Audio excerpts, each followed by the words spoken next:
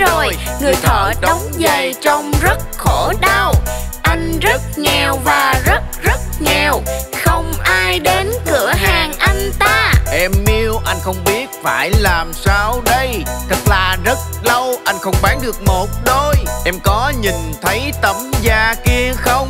Nó không đủ để làm một đôi giày. Người đánh giày anh ta ôm đầu u sầu. Thôi mà anh yêu ta đi ngủ thôi say Có hai yêu tinh lẻn vào cửa hàng. Ma thuật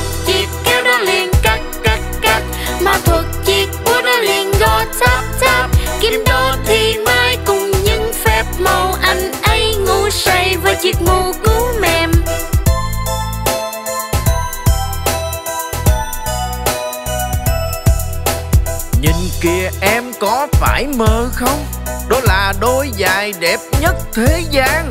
Để chúng trên cửa sổ xem có bán được không. Một người đến và rất giàu. Tuyệt tuyệt tuyệt. Bán chúng cho tôi 10 đồng vàng được không? Người đánh giày anh cười và la lên. Hãy mua thêm da đi và mua chỉ nào. Chuyện gì sẽ xảy ra khi chúng ta ngủ say? Khi người thợ giày đang ngủ say Những con yêu tinh kia trở lại tiệm giày. Ma thuật đó liền cắt cắt cắt. Ma thuật chiếc bút đó liền gõ tap tap Kim đô thì mai cùng những phép màu Anh ấy ngu say với chiếc mũ cú mềm.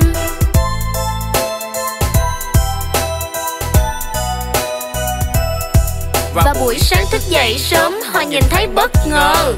Nhiều kích cỡ với những đôi giày. Để chúng trên cửa sổ xem có bán được không Và đúng mong ước họ bán được ngay. Hãy mua thêm da đi và mua chỉ nào. Chuyện gì sẽ xảy ra khi chúng ta ngủ say? Nhưng hãy nghĩ thử xem ai đã làm chúng đây. Anh có một ý tưởng Ta sẽ làm.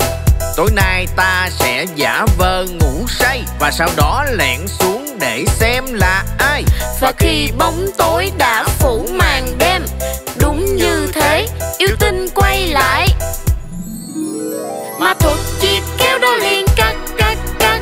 Ma thuật chiếc bút đó liền gõ tap tap Kim đô thì mai cùng những phép màu. Anh ấy ngu say với chiếc mũ cú mềm.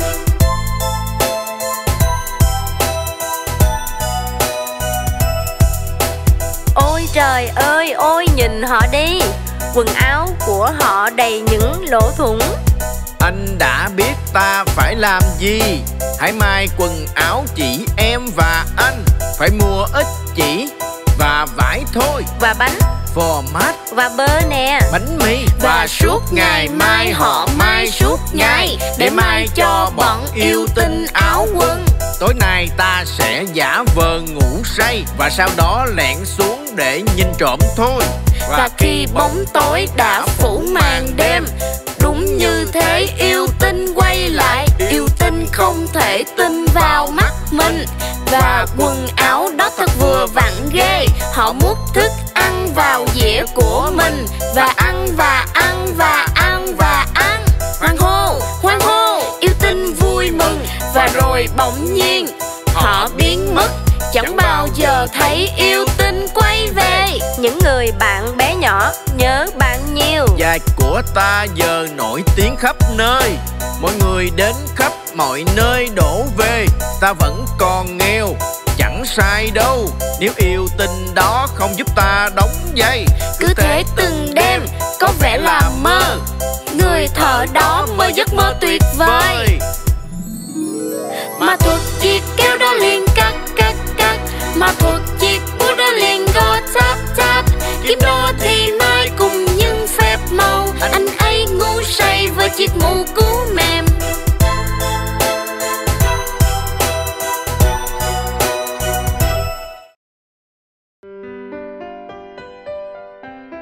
Đến lúc kể chuyện.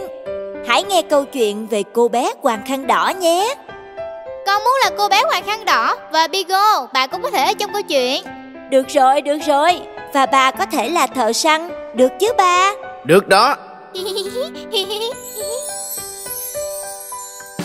Một cô bé con mặc áo đỏ với khăn quàng Là anh Cậu bé.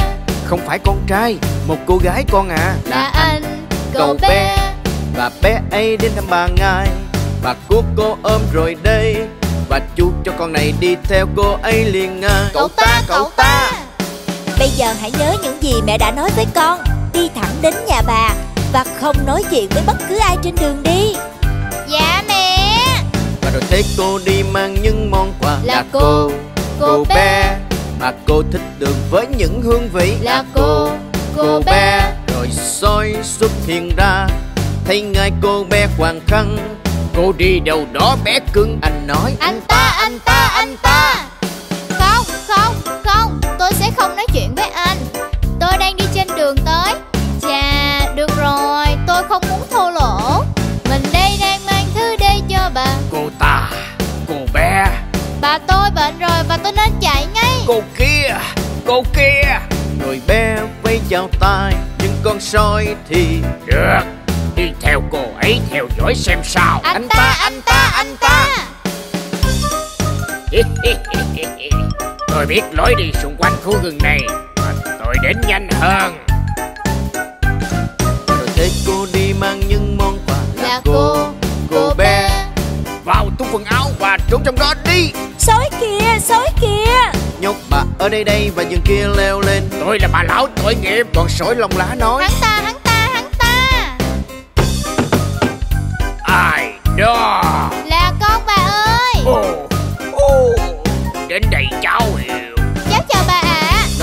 cô bé bước vô nhà. Là cô Cô bé Mình nghĩ mình nghe tiếng khóc đâu đây Là cô Cô bé. Đó, Đó là gì? cô bé đó khóc. Có gì đâu con đến đây. Thằng và Hắn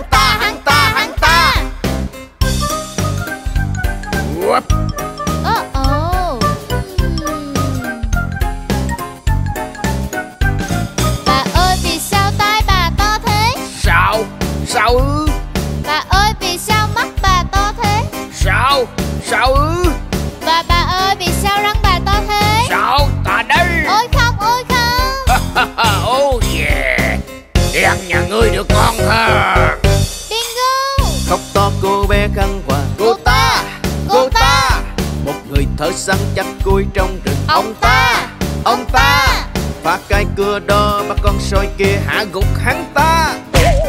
Hắn ta hắn ta hắn ta. Ngươi là một con sói hư hỏng. Đi đi Và đừng bao giờ quay lại đây. Ông thợ săn cứu lấy lao bà. Là ông Là ông. Cô bé nói. Con là fan của ông. Là ông Là ông. Là lỗi của con. Cô bé nói to. Con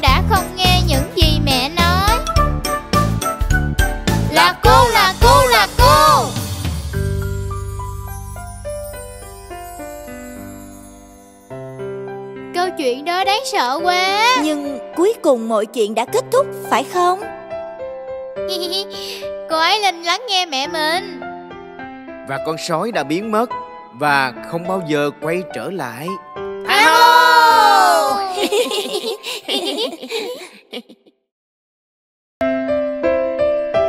Đây là câu chuyện về cậu bé nói dối.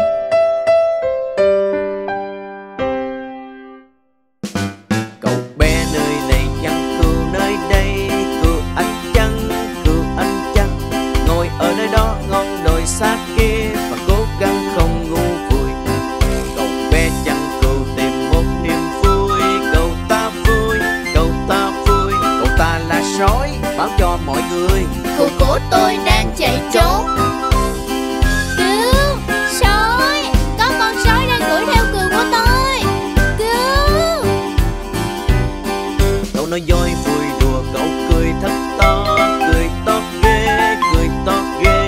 Ôi thật một cười khi mọi người tin tôi. Mọi người la trong khi chúng ta vẫn cười.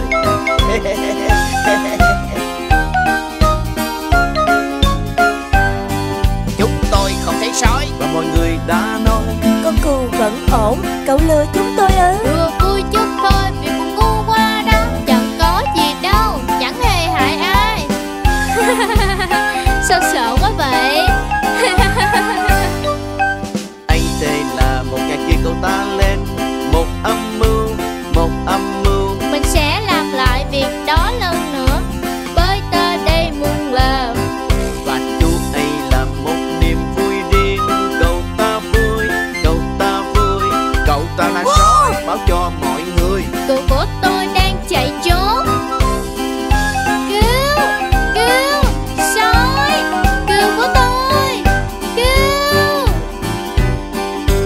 theo vui đùa câu cười thật to.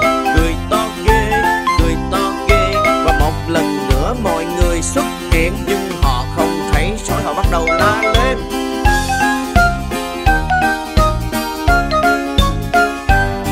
Ta không thấy con sói ở đâu hết. Con cừu vẫn ổn, thật quá đáng mà đúng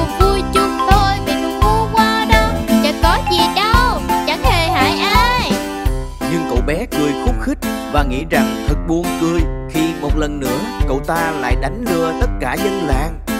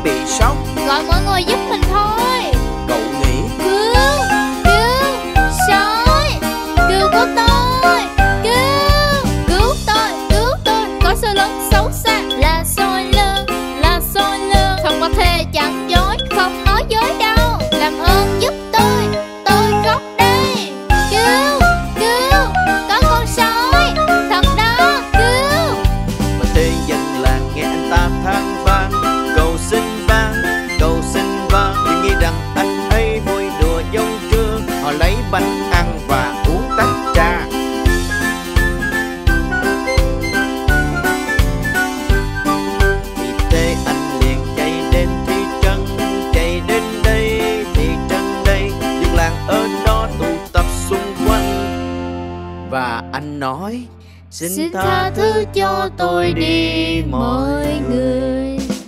Tôi xin lỗi vì đã làm mọi người thất vọng. Tôi chắc chắn đã học được bài học của mình.